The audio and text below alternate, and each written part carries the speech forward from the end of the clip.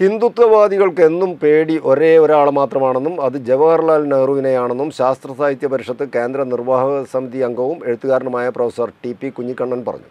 തിരുവമ്പാടി ജനചേതന കലാ സാംസ്കാരിക പഠന കേന്ദ്രം സംഘടിപ്പിച്ച പുസ്തക ചർച്ചയിൽ സംസാരിക്കുകയായിരുന്നു അദ്ദേഹം. ഹിന്ദുത്വവാദികൾക്ക് രാജ്യത്ത് എന്നും പേടി ജവഹർലാൽ നെഹ്റുവിന് മാത്രമാണെന്നും അതിന് ഇന്നും ഒരു മാറ്റവും സംഭവിച്ചിട്ടില്ലെന്നും പ്രശസ്ത ചിന്തകനും ശാസ്ത്ര സാഹിത്യ പരിഷത്ത് കേന്ദ്ര നിർവാഹക സമിതി അംഗവും എഴുത്തുകാരനുമായ പ്രൊഫസർ ടി പി കുഞ്ഞിക്കണ്ണൻ പറഞ്ഞു നെഹ്റുവിനെ വായിക്കുക എന്നത് ഒരു രാഷ്ട്രീയ പ്രവർത്തനമാണ്.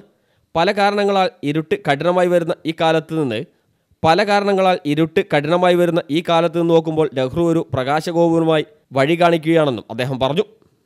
തിരുവമ്പാടി ജനചേതന കലാസാംസ്കാരിക പഠന കേന്ദ്രം സംഘടിപ്പിച്ച പുസ്തക ചർച്ചയിൽ നെഹ്റുവിയൻ ഇന്ത്യ എന്ന സ്വന്തം രചന അവതരിപ്പിച്ച് സംസാരിക്കുകയായിരുന്നു. അദ്ദേഹം?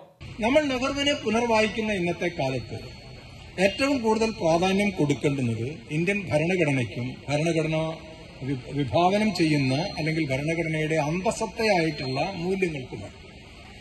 ഒരു പ്രധാന ഇന്ത്യ ഭരണഘടനയെ പലരും വ്യാഖ്യാനിക്കാൻ ശ്രമിച്ചിട്ടുണ്ട്. പലതരത്തിലുണ്ടാകുന്ന വ്യാഖ്യാനങ്ങൾ വന്നിട്ടുള്ള ഒരു മഹത് ഗ്രന്ഥമാണ് ഇന്ത്യൻ ഭരണഘടന. തിരുവമ്പാടി ബസ് സ്റ്റാൻഡ് സ്ക്വയറിൽ നടന്ന പരിപാടിയിൽ doctor Abbas Ali T K A V Sudhakaran Vijeesh Paravari Jolly Joseph K Sadiqali Robin Thomas K R Premarajan P T Augustine K K Divakaran doctor James Paul T P Abdul Aziz K D Thomas എന്നിവർ പങ്കെടുത്തു.